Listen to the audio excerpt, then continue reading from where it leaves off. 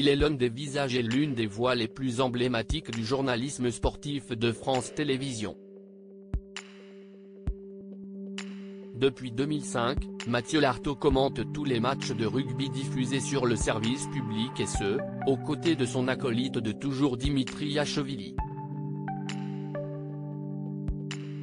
Ce samedi 18 mars, il ne manquera pas de commenter la prestation du 15 de France opposé au pays de Galles dans le cadre du tournoi à destination, choc diffusé sur France 2.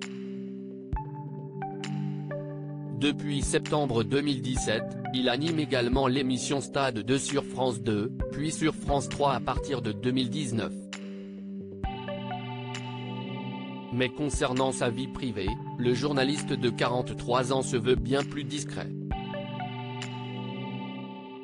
S'il n'hésite pas à exposer sa femme Magali et ses deux enfants Noah, 18 ans, et Jeanne, 11 ans, sur son compte Instagram, il en parle en revanche très peu dans les médias. Marié depuis 10 ans, Mathieu Lartaud et son épouse fêtaient leur noces d'éteint le 13 juillet 2022. En revanche, on ne sait pas depuis combien de temps les tourtereaux sont en couple. Sur son compte Instagram, le journaliste sportif partage chaque année une photo de leur mariage, à cette date symbolique de leur union.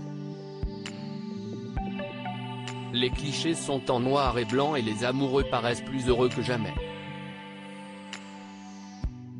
Mais celui qui a souffert d'une tumeur au genou et qui porte désormais une prothèse a aussi l'habitude de partager avec ses abonnés des photos de sa petite famille. Chaque année, il célèbre l'anniversaire de ses enfants Noah et Jeanne. très proche d'eux et visiblement complice en toutes circonstances, Mathieu Lartaud n'hésite jamais à délaisser un peu son travail pour passer du temps avec sa tribu. Vacances, activités cuisine ou sportives ou simples moments de détente devant la télévision ou au restaurant.